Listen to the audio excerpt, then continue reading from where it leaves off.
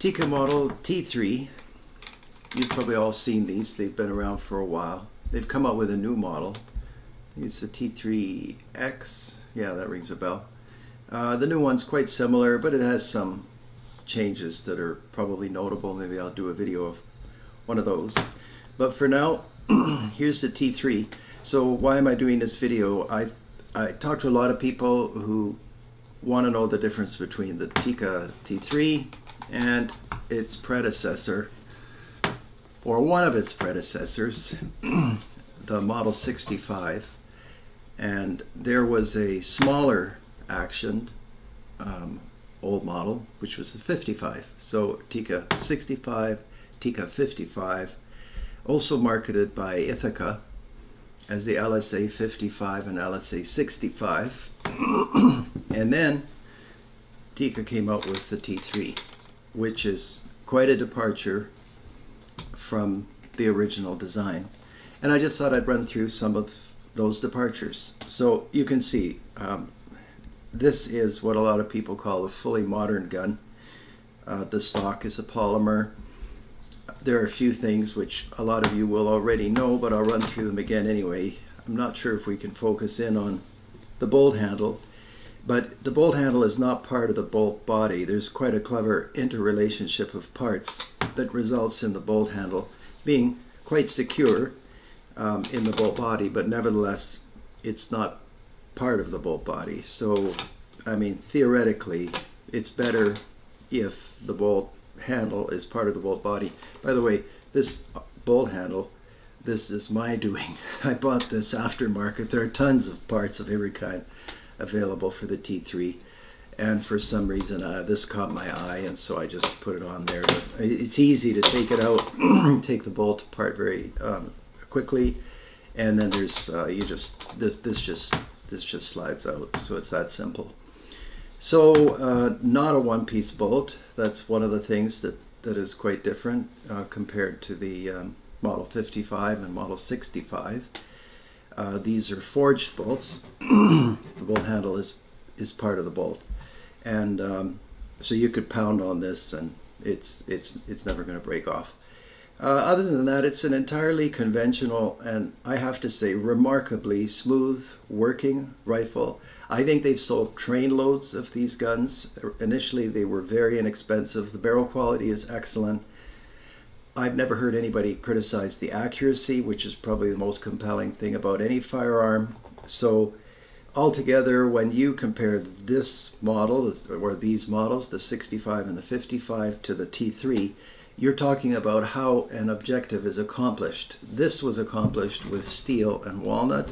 This is accomplished with some polymers, including the bolt shroud, the magazine. It works wonderfully, by the way, but it's plastic.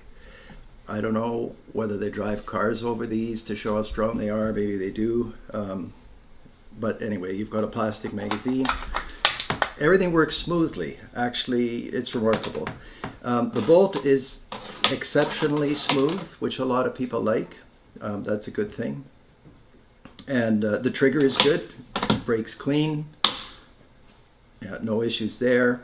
And um, the action does act does not actually have a recoil lug. The recoil lug is sitting in the stock. I wanted to take apart the stock for you, uh, but I'm not going to do that. I'm just going to leave it together, and you can picture a recoil lug in the stock and a groove in the action.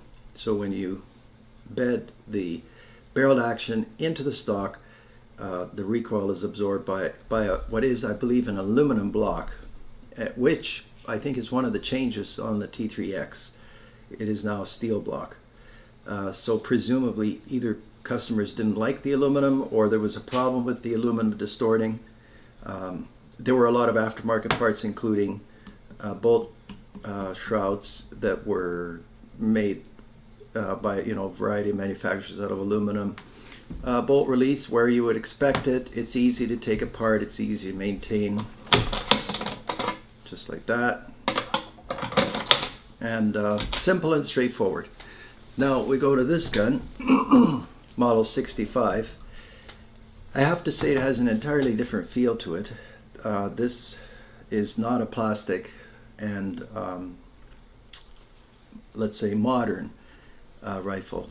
This is more of a traditional hunting rifle. I, I obviously maybe prefer the 65 and the 55. They stopped making them. Same reason you're going to hear a whole bunch of times on this channel. They were too expensive to make. I should rewind a little bit and point out one thing. This ejection port is pretty small.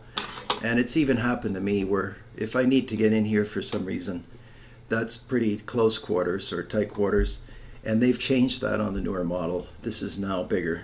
As opposed to the original, the 65 and the 55, you can see there is just no issue with access. If there's something going on, you know, either a tough extraction or some dirt gets in here, uh, you can sort that out quickly. Other things I like, the walnut stock, but you can buy aftermarket polymer, you can buy aftermarket laminated, whatever you like. Uh, accuracy, I doubt someone would say one is more accurate than the other. Probably they use similar technology for rifling. Uh, great barrels. Actually, people take off these barrels to change calibers, and and they still get a good dollar for the for the takeoff barrel in the aftermarket uh, used. I've even purchased some of those. Uh, bolt removal is this button. I won't bother taking it out. Same position as on the T3. This is a plastic button. Uh, the action is steel, um, and this is I. I don't think there's anything but steel on this gun. I would have to look. Yeah, no, it's all steel. And um, magazine removal, simple. Uh, the magazine is all steel. You, and, and these there seems to be sort of a market for these. Uh, they're hard to find, and they seem to change hands for like two hundred dollars for these steel magazines. There's something, I don't know. There's something nice about the way they feel. I guess they're cold and, and solid. Um, very easy gun to work with. Hopefully, I can prove that by getting this in here without trouble. There we go. And uh, I should demonstrate the trigger again. It's like a glass rod breaking, perfect.